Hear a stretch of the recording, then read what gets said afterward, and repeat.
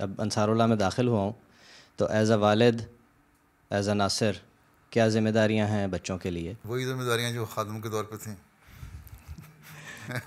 जी है? जी। अंसारुल्लाह में दाखिल होके अपने आप को बूढ़ा ना समझें। हम्म? हज़रत मुस्लिम ने फरमाया था ना कि मुझे समझ नहीं आती कि अच्छे भले चालीस साल की उम्र तक एक खादम काम करता है और जब अंसारुल्लाह में दाखिल होता है तो पता नहीं क्यों अपने आप को बूढ़ा समझ के काम करना छोड़ देता है। हम्म? उसी तरह एक्टिव रहें। वही जिम्मेदारियाँ आपकी यहाँ निभाएँ ठीक?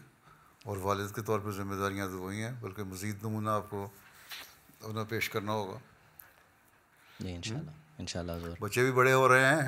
जी और आप भी बड़े हो रहे हैं तो बच्चे तो ज़्यादा आप नकल करेंगे देखेंगे आपको।